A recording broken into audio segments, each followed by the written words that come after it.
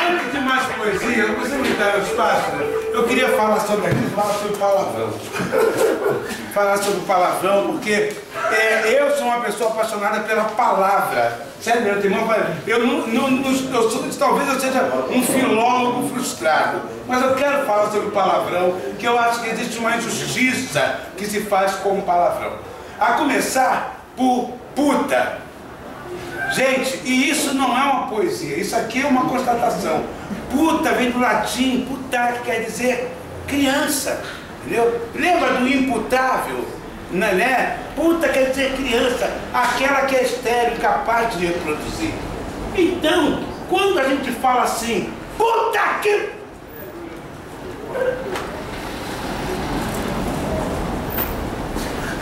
Pariu. A gente está dizendo que aquela criança não era para ter nascido, aquele, aquele momento não era para ter acontecido. Puta que pariu, quer dizer, isso não era para ter acontecido, porque puta não dá luz.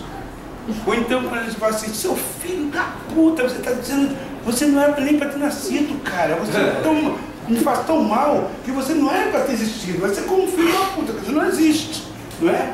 Da mesma forma, quando a gente diz assim, vá para o caralho, o caralho, o caralho é aquele mastro que tem no meio do navio, em cima do qual fica a cesta, e o cara ficava lá em cima para ver terra à vista. O caralho é um grande instrumento de descobrimento das grandes navegações, era o telescópio de Cabral.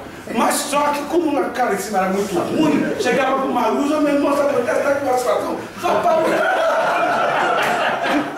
E como tem o símbolo fálico, como tem símbolo fálico, então a gente, nós, nós não, né? A sociedade incorporou o caralho sob uma outra ótica, né? Entendeu? E, e aí também, quando, mas mesmo assim, quando tu vai para o caralho, gente, não é também no caralho que vem a vida.